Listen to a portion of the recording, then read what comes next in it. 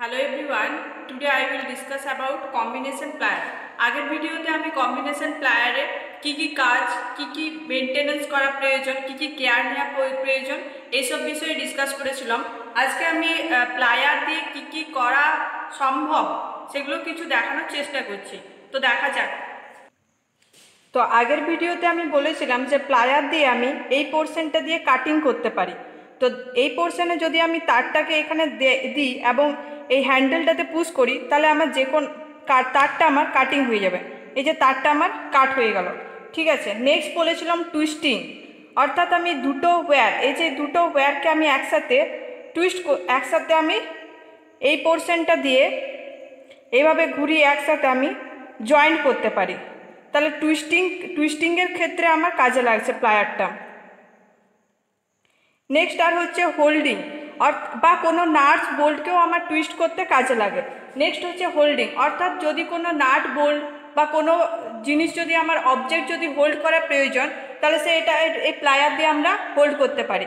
তো এইটা হচ্ছে কম্বিনেশন প্লায়ার আর এটা, এই যে প্লায়ারটা এটা হচ্ছে নোজ প্লায়ার নোজ প্লায়ারের মধ্যে লং নোজ প্লায়ার ঠিক আছে? নোজ প্লায়ারকে দুটো নোজ প্লায়ারকে নোজ প্লায়ারকে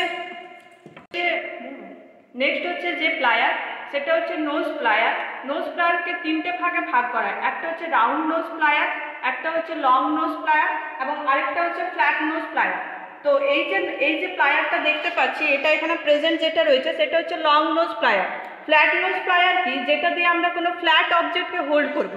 অর্থাৎ কোনো হেক্সাগোনাল নাটকে যদি আমরা হোল্ড করি, তাহলে সেক্ষেত্রে ফ্ল্যাট নোজ প্লায়ার ইউজ হয়। আর রাউন্ড নোজ প্লায়ার দিয়ে কি? কোনো যদি আমার ওয়্যারকে রাউন্ড ব্যাকাতে এইসব ক্ষেত্রে আমরা রাউন্ড নোজ প্লায়ারটা ইউজ করি। আর এটা হচ্ছে লং নোজ প্লায়ার এটা যেখানে, এটা এখন প্রেজেন্ট রয়েছে।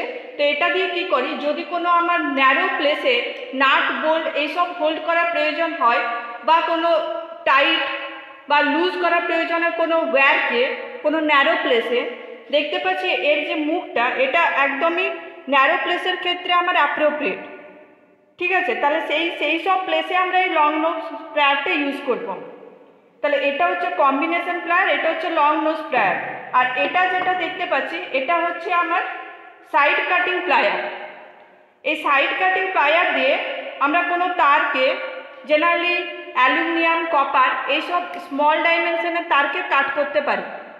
তো এই তিন ধরনের প্লায়ার আমার এখানে প্রেজেন্ট রয়েছে। এটা হচ্ছে কম্বিনেশন এটা হচ্ছে সাইড কাটিং প্লায়ার এটা হচ্ছে লং নোজ প্লায়ার তো আজকে প্লায়ার সম্পর্কে ডিসকাস করলাম, কিছু জিনিস দেখানোর চেষ্টা করলাম, আশা করি তোমরা সকলে বুঝতে পেরেছ।